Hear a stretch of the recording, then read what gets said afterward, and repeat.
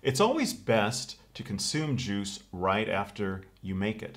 But what if you want to store it for later? Hi, it's Dan with eujuicers.com and in this video I'm going to share with you some tips that will help you keep your juice tasting good, fresh, and nutritious for as long as possible. Now, a lot of manufacturers of slow juicers recommend storing juice for up to 72 hours. Here at EU Juicers, we say 48 hours is really the maximum you should go. You could keep it longer than that, but you really start seeing a big drop off in the flavor and in the nutrition especially. Now, why is it that juice should be consumed so quickly? You can buy juice in the, the store, fresh juice, and it'll last for up to a week. Well, a lot of the juice you buy in the store has been pasteurized or it has been uh, processed or has preservatives to keep it fresh, so to speak. Whereas juice from a juicer is raw food. It's just like cutting a fruit or vegetable open. Once you cut uh, and expose the inside of a fruit or vegetable to air, it begins oxidizing immediately. Think about a banana or slicing open an apple, it starts turning brown. That's the interaction with the oxygen turning it brown. This can cause uh, kind of spoilage, bacteria. So you want to properly store your juice because that is a raw food. And there's a few ways you can do it. First tip for storing raw juice or for having the best tasting juice is to use a slow speed juicer. There's two types of juicers out there on the market. The common one you see in shops, the one that's been around forever, is the centrifugal high speed juicer. Those are the juicers, they'll run anywhere from 5,000 to 15,000 RPM. And that high speed action is exposing the juice very quickly. It's turning it over fast, fast, fast, exposing it to a lot of air, a lot of oxygen. It's also creating heat. And those two things combined will make juice really not something you want to store. If you're using a centrifugal juicer, they work fine with a lot of produce. Just make sure to drink the juice right away. Even if you store it, put it somewhere you'll notice it will separate. You'll have a clear layer and you'll have a thick layer down at the bottom. That's just the process of it. But a slow juicer like this, this is a Sana 727, uh, they run a lot slower, anywhere from 40 to 120 RPM. They come in a few different forms, but the main giveaway is uh, there'll be an auger or a gear inside, just like a, a worm type gear. Uh, or in some juicers, there's two of them. And these run slowly, and these allow you to store the juice longer. So that's the first tip. Look for a slow juicer. Don't try storing with a high-speed juicer. Second tip is you can add a little bit of citrus, specifically uh, lemon or a lime. If you add a little bit of that to your juice, that will slow down the oxidation because it has ascorbic acid. Uh, I'm going to be making juice today with carrots and a couple of apples I picked in my garden. In fact, I've got an apple here. I'm going to cut this guy and You'll notice when you cut an apple, it'll start turning brown pretty fast. So what I'm going to do while I juice, I'm going to squeeze some lemon on one of these, one half. I'll put it on this half here. So I just squeeze some lemon juice. And let's see by the end of the video if uh, this should be a lot cleaner looking uh, and this guy will start turning brown. So if you can add, if you don't mind the taste, add a juice of one lemon or one lime.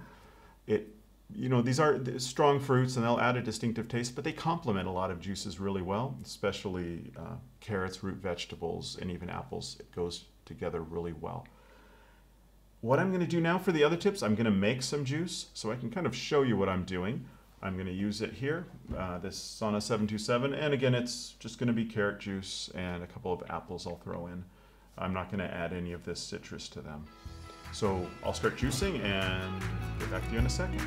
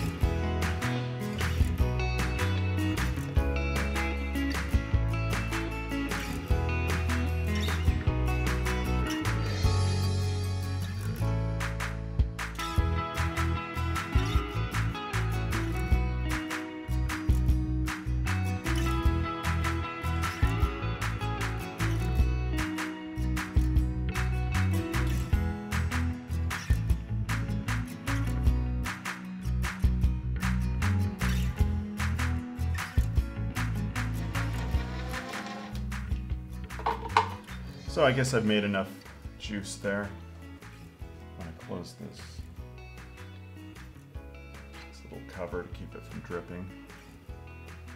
And what you wanna do after juicing, first of all, you need to store it somewhere cold in a refrigerator. So make sure to get it in the fridge as soon as possible and you want to store it in a container that is airtight, that can seal. Something like this. Here's a glass bottle and it's got a silicon lined lid so there's no um, plastic con uh, contact or anything like that.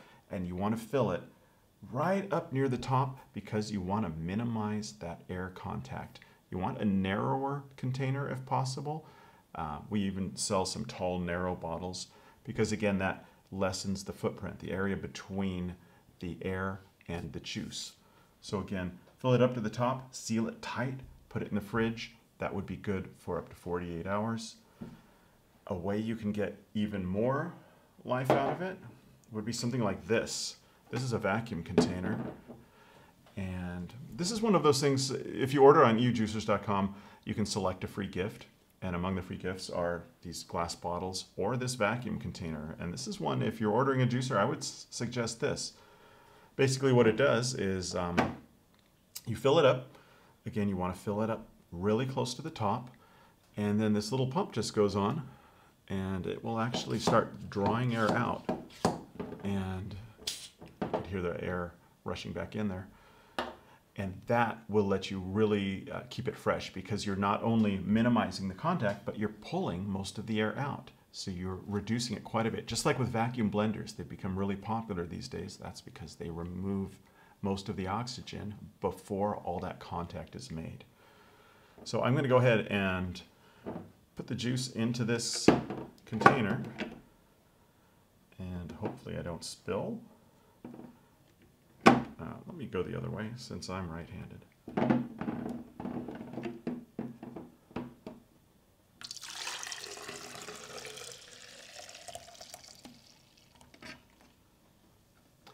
Now I could have juiced the rest of these guys because I would recommend even filling it up to here if you can. All this means is I'll just have to pump a little bit longer. And then you just put on the pump here, hold it down, the this comes with the pump. I need to start pulling up. I start feeling the resistance already. There's a one-way valve down here. And once the resistance starts getting pretty hard, I'm already starting to feel it. It'll be even faster if there's more juice in there. Then it's good to go. I can't open this now, it's sealed. In fact, when I pull this thing, you'll hear all that air rushing back in.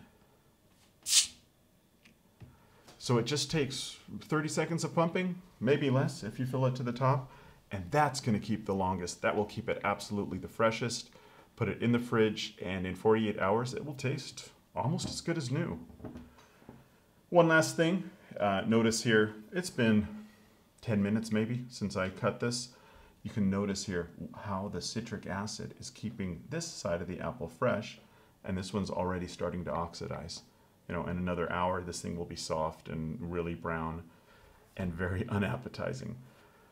So the trifecta would be use a slow juicer with some citrus, uh, with a lemon or lime, and put it in a refrigerator in a vacuum container, and your juice will taste good for the next two days or so. I hope you enjoyed this video. If you have any questions or comments, please leave them below. I always look at the comments. I always like to have some ideas and I love answering your questions. So please do that. Thanks for watching. I'm Dan with eujuicers.com and I'll see you next time.